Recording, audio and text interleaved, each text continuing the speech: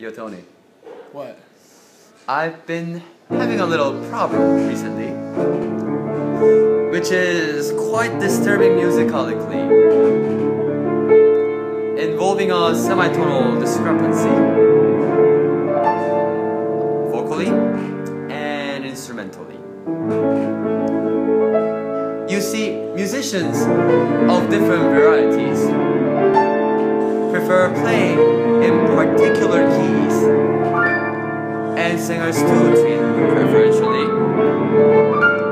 those notes they tackle more proficiently. Now you don't have to be a member of Mensa to understand the depths of my dilemma. The two elements of me favor two different keys, thus the rip betwixt my fingers and my bass. I like nothing more than playing instruments in F. Warms very cockles on my heart. The trouble is F can leave me vocally bereft. You see, I like playing in F major, but I like singing in F sharp.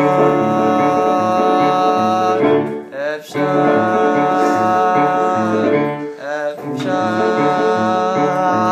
I refuse to be holding to my hands.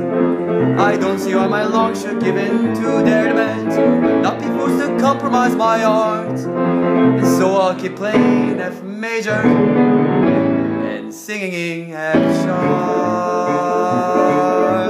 F sharp. F sharp. F sharp.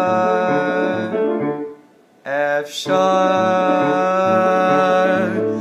I'll keep playing in F major